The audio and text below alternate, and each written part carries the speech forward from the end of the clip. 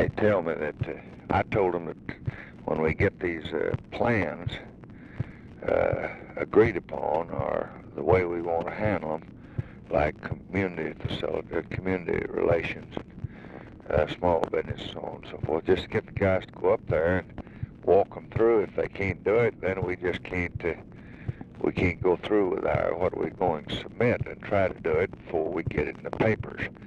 Now, they haven't been doing that. They sit back on their big fat fanny and smoke a cigar and look out the window and don't do anything, and then they just get hell beat out of them because every lobbyist in the country gets organized and, and we don't know anything about it, and we just have to scratch it when it's over and say, well, I'll be damned, I'm sorry.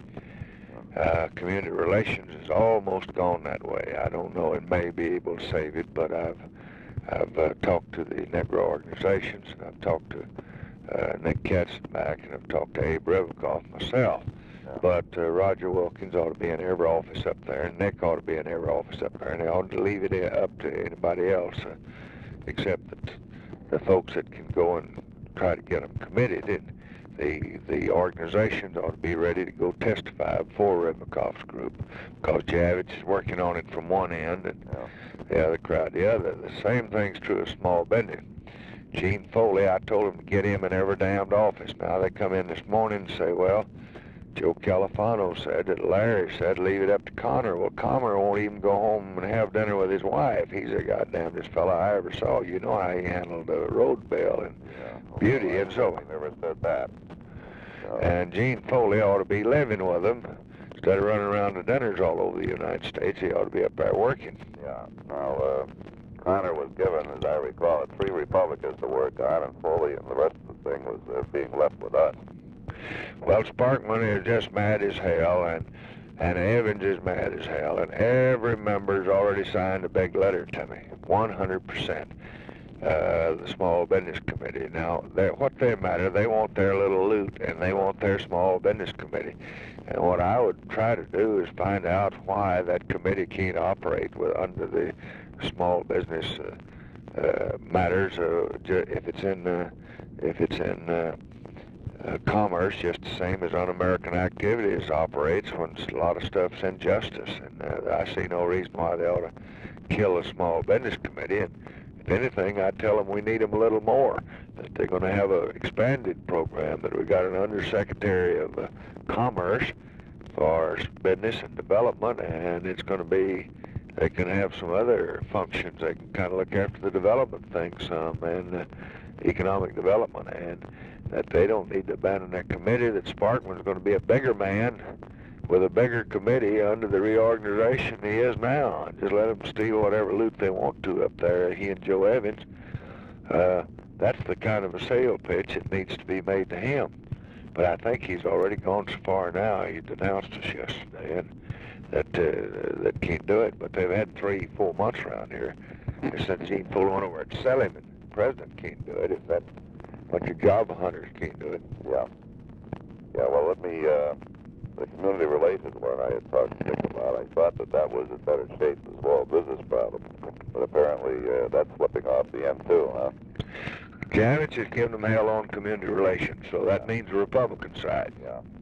The liberals, uh, the Clark type, I don't know who they are, but that general type, are giving them hell on the other. Uh, so uh, the the ADA and that type, they don't want they want to keep it in commerce. I don't know why the damn fools do, because justice has to settle everything, and justice has got some power. And they can look at a southern senator, say something. Sam Ervin, he's against it uh, because he doesn't want anybody that's got any power handling the, these Negro things. And if Wilkins and Nick and them got any sense, why they can point out to Jim Eastland and Sam Ervin don't want it. That's right. But why in the hell would they want to follow Javits off and keep it in commerce? Or, then they'll say, well, put it in HUD and just say, well, you don't think it uh, that Weaver can in the U department don't think that he has much power in these things. He's going to need all the congressmen, senators he can get. He can't run any of them off. Justice is the only guy that's really got any independent. And the they have having a field day with Mansfield and Fulbright's, uh, Mansfield's report and Fulbright's uh,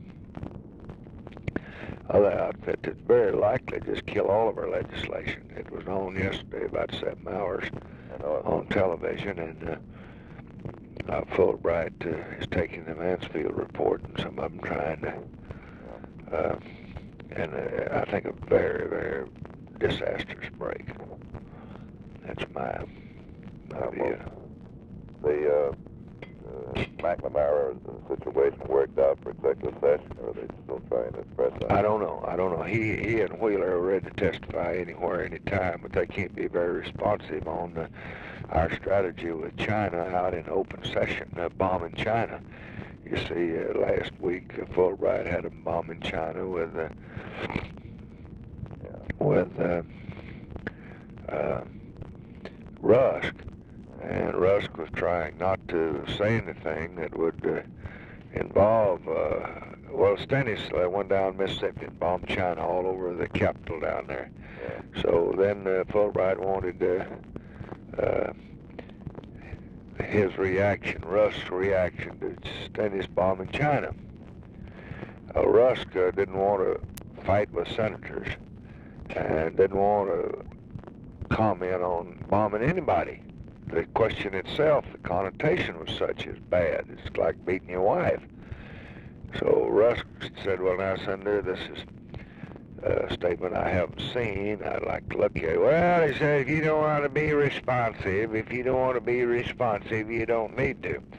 So what you get into in these open sessions on military matters is if you're if you uh, tell them the information. You run out on the boys out there and endanger them. If you don't, you're not responsive. So you can't satisfy either way. So the best way to do is just go and tell everything in the, in session, and then let the committee take people and eliminate that. That gives uh, gives uh, uh, encouragement to the enemy. Uh, we had the flag just two days ago. Rivers now uh, giving McNamara a transcript and I talked to McNamara at some length. Finally, after a lot of conferring back and forth, he gave McNamara copies of the transcripts yesterday. And I thought to myself, well, God, uh, and then we got it worked out so McNamara would meet with Rivers' so-called uh, strategy board on the committee of eight when he gets back here. And I thought, geez, finally there's a little touch of uh, sense up there in that group. And about an hour later, the Fulbright was blowing the whole thing wide open. Well, demonstrate. They're responsible. They don't give a damn. They, they first, the minute they see a TV camera, they they're gone. You ought to tell McCormick and and Albert today that Mr. Rayburn used to have his, his favorite expression. There comes a time when a man's got to put his stack in. Playing poker, and I think you ought to have some pretty serious discussions if you're still handling that Hill group, uh, with both with both Mansfield and uh, McCormick, and just say now if this crowd's going to run around with television, you're going to beat every goddamn man we got. Now Johnson don't give a damn. He's not running for any office. Now McNamara don't give a damn. They want to help.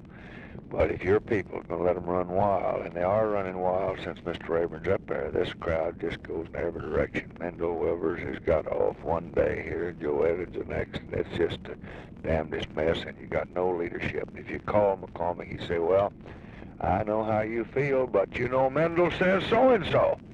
Instead of saying, God damn you, Mendel, don't you, you know what, you know what old man Rayburn used to say to him. And you know what, uh, uh, I would say to him if I was leader of the Senate.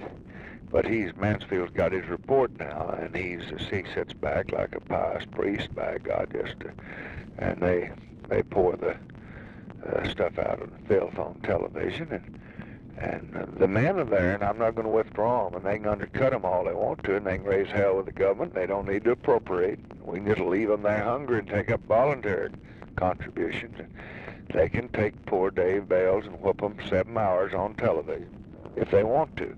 But I think the time will come when they'll find that uh, that there's a pretty strong group here, and I don't believe they'll they'll win it because they're the ones that got to be elected, not me. If I were running, that'd be different. But what I'll do is just say, here's Fulbright has tried to destroy every administration he ever had anything to do with. He ruined Truman, the RFC.